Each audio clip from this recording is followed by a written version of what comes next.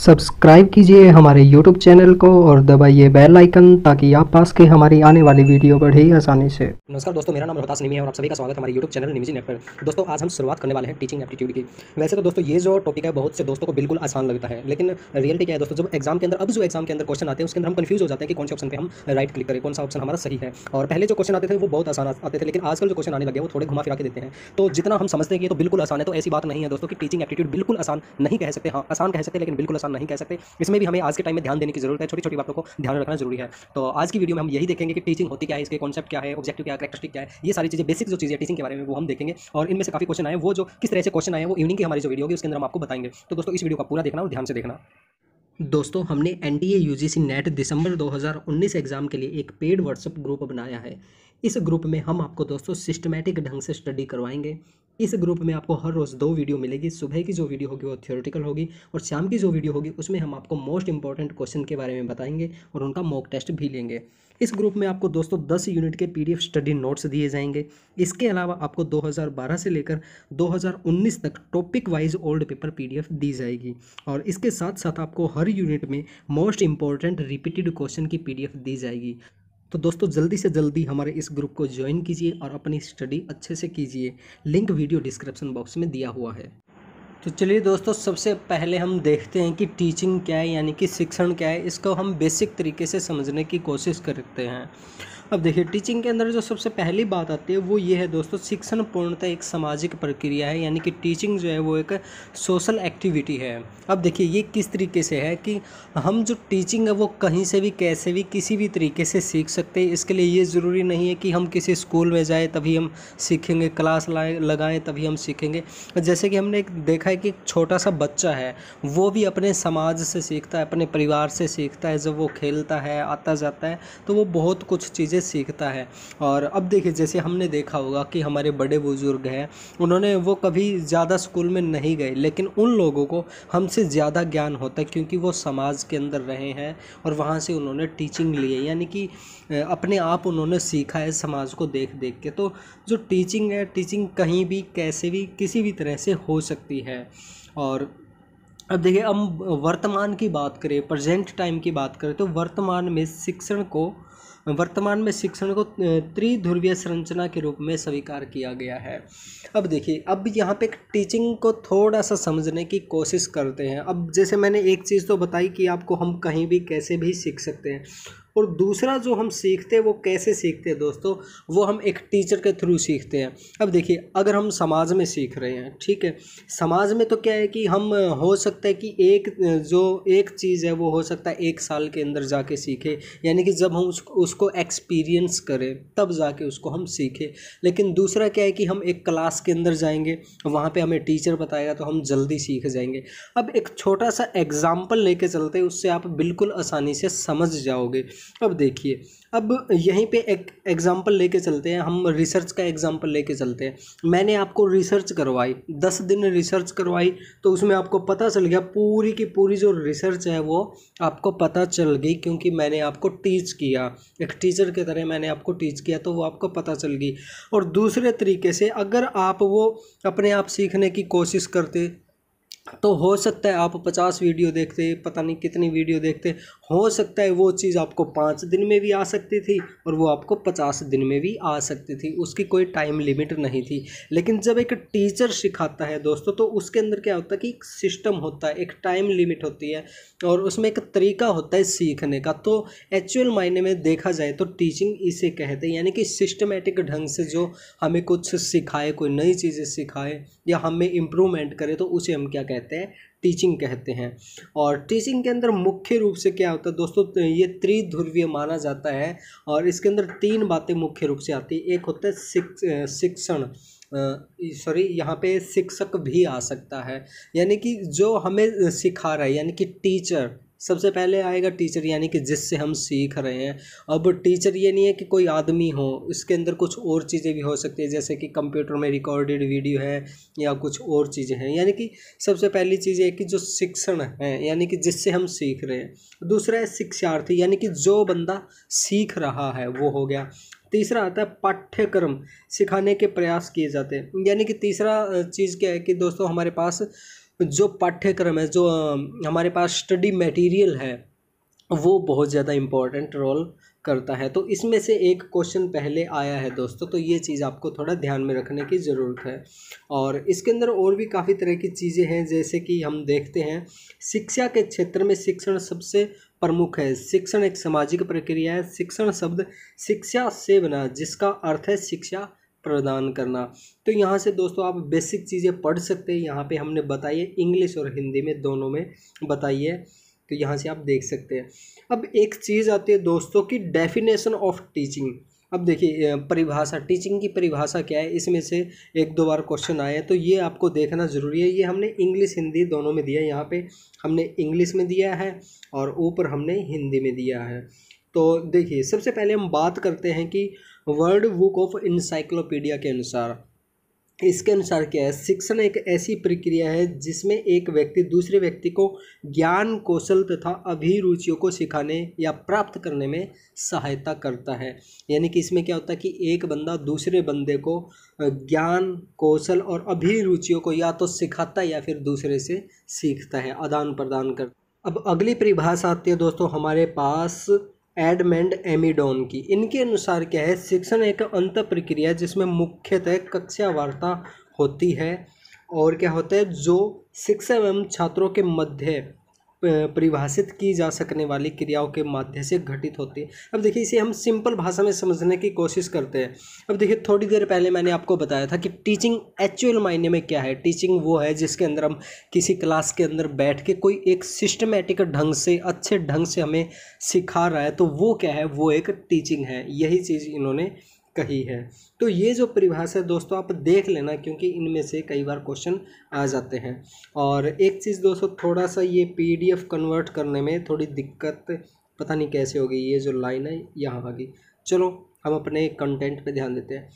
कि शिक्षण अब देखिए गेज के अनुसार, शिक्षण एक प्रक्रिया का पारस्परिक प्रभाव है, जिसका उद्देश्य है दूसरे व्यक्ति के व्यवहार में अपेक्षित परिवर्तन लाना। यानी कि शिक्षण के अंदर हम क्या करते हैं? हम चाहते हैं ना, हम जिसको सिखा रहे हैं तो उसके व्यवहार में कुछ परिवर्तन आए। यानी कि उसमें कुछ इम्प्रूवमेंट हो। तो ये सारी चीज़ें होती है। और भी यहाँ पे दो और ये दी हुई है दोस्तों परिभाषा ये दोनों आप पढ़ सकते हैं, आप पढ़ लेना।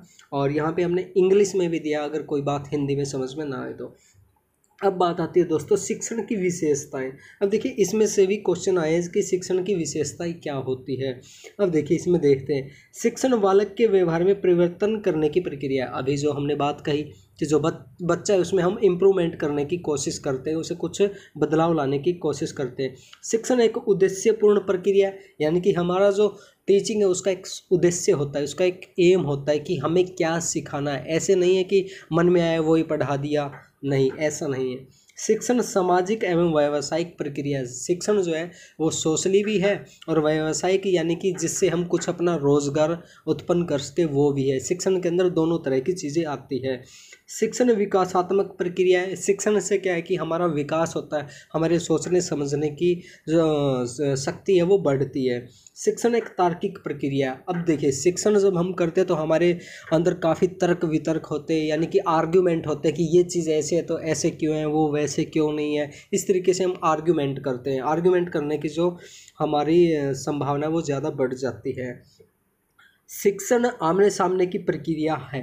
अब देखिए, ये थोड़ा सा ओल्ड बात इन्होंने थोड़ी सी कह दी कि शिक्षण आमने सामने की प्रक्रिया पहले होता था, लेकिन आज के टाइम में हम जैसे कि मोबाइल से पढ़ सकते हैं। आप जैसे अब मोबाइल से पढ़ रहे हो तो मैं आपके सामने नहीं हूँ, मैं मेरा दूसरा काम कर रहा हूँ। तो ये पहले की परिभाषा हम कह सकते हैं, पहला का, पहले का गुण। शिक्षण प्रेरणात्मक प्रक्रिया है। शिक्षण हमें प्रेरणा देती है आगे बढ़ने की। शिक्षण एक कुशल निर्देशन है। शिक्षण हमें अच्छे तरीके से डायरेक्शन देता है कि हमें अपनी ज़िंदगी में क्या करना चाहिए। शिक्षण त्रिमुखी प्रक्रिया है। अब देखिए, शिक्षण त्रिमुखी प्रक्रिया के बारे में मैंने आपको पहले ही बताया था।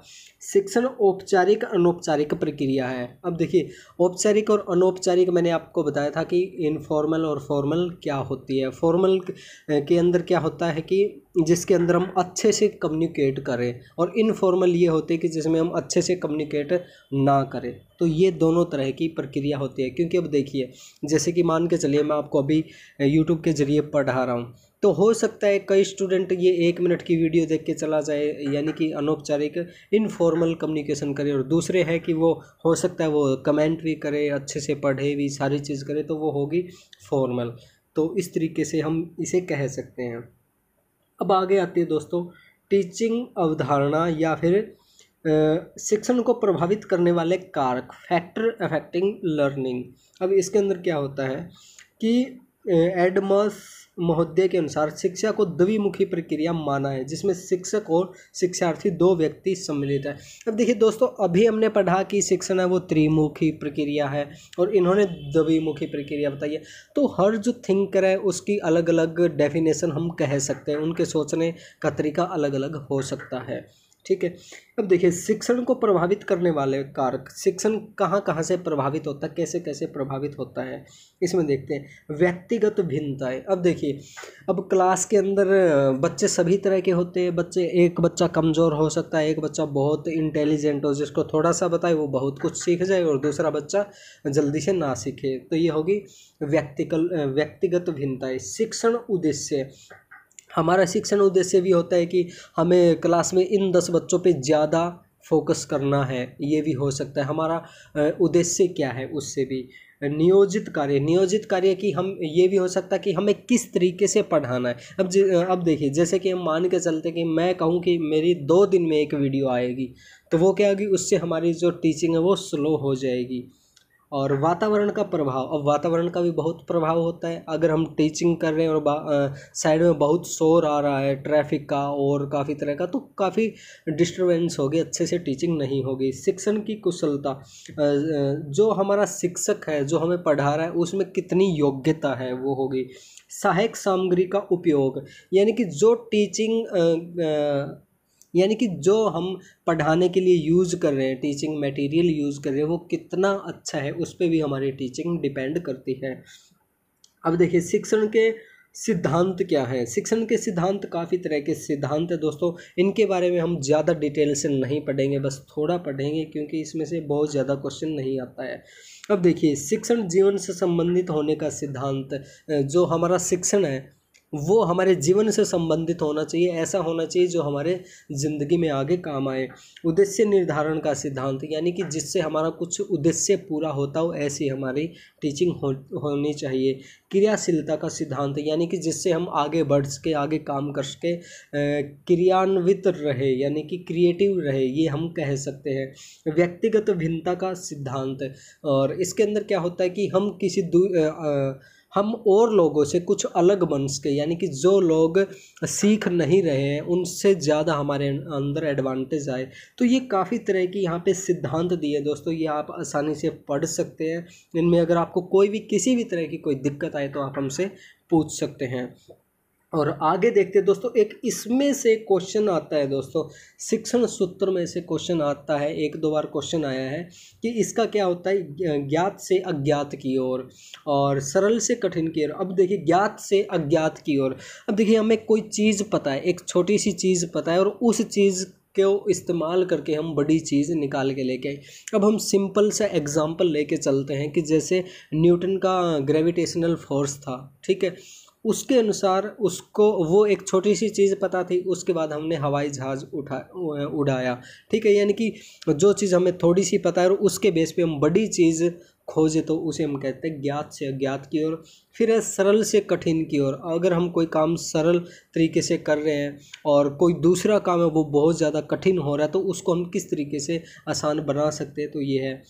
प्रत्यक्ष से प्रोक्ष की ओर। अब देखिए प्रत्यक्ष और प्रोक्ष क्या होता है? प्रत्यक्ष होता है जो हमारे सामने बिल्कुल अच्छे से दिखे, यानी कि जो सच होता है ना, सच से असत्य की ओर हम ये चीज़ कह सकते हैं। संपूर्ण से अंश की ओर, यानी कि जो चीज़ हमें एक बड़ी चीज़ पता है, ठीक है कि हवाई जहाज़ उड़ता है तो उस हवाई जहाज़ में क्या क्या सिद्धांत लगे हैं? किस तरीके से उड़ता है? और उनके सिद्धांतों को यूज़ करके हम और अपने ज़िंदगी में क्या इम्प्रूवमेंट कर सकते हैं? क्या और नई डिवाइस बना सकते हैं? तो वो होता है दोस्तों।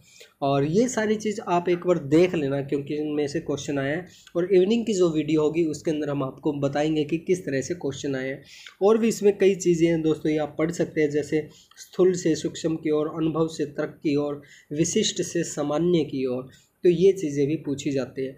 और अब आगे आता है, दोस्तों, हमारे पास शिक्षण उद्देश्य, यानी कि हमारा जो हम टीचिंग कर रहे हैं, उसका एम क्या होना चाहिए? ठीक है, वो हम देखते हैं। अब देखिए, यहाँ पे हिंदी, इंग्लिश दोनों में दिया है। हम इंग्लिश में पढ़ने की कोशिश करते हैं।